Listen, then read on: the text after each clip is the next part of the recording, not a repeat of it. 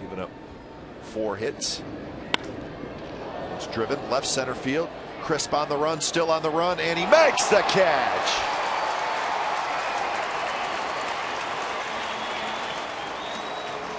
what a catch. He was faster than the baseball. Ball was slicing away from him also. And kind of reminded of Bo Jackson. Remember, he ran up the wall? Yeah.